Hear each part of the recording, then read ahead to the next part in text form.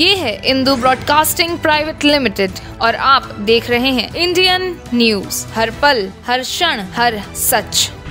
तो नई सरकार चुनने के लिए आज छत्तीसगढ़ में पहले चरण का मतदान बस्तर में शुरू हो चुका है। तेज धूप होने के बावजूद भी मतदाता मतदान के लिए आ रहे हैं। युवक, युवतियाँ और बुज़ुर्ग यहाँ पर वोट देते नज़र आ रहे हैं और काफ़ी उत्साह लोगों में दिखाई दे रहा है। सुबह सात बजे से ही वोटिंग की शुरुआत हो चुकी है।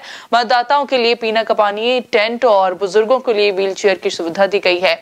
नक्सल प्रभावित क्षेत्रों में शत प्रतिशत मतदान के लिए सभी मतदान केंद्रों में सुरक्षा बलों की तैनाती की गई है। साथ ही ड्रोन से भी निगरानी की जा रही है। बता दें कि बस्तर में कांग्रेस उम्मीदवार कवासी लखमा और बीजेपी के महेश कश्यप के बीच सीधी लड़ाई है।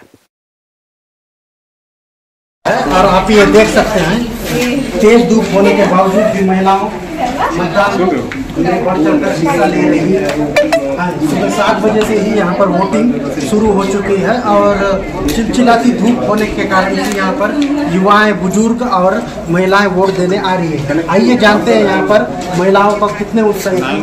आज के मतदान को लेकर।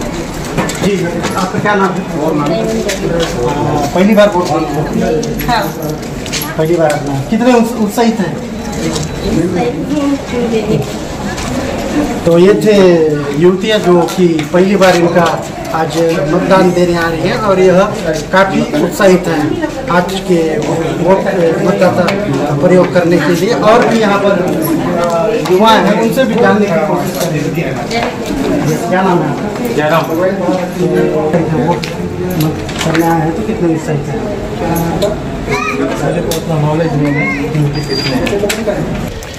और भी यूटियल से जानेंगे यहाँ पर वोट देने आई हैं। जी क्या नाम है आपका? तो आपने वोटिंग दिया? आपको पहली बार वोटिंग दिया यहाँ पर? सेकंड कितने उत्साहित हैं यहाँ पर? मैं बहुत एक्साइटेड हूँ कि मैं पहली बार तो यहाँ जैसे कि आज तेज धूप है क्या क्या सुविधा है यहाँ? पर तो सुविधा टेंट का सुविधा है।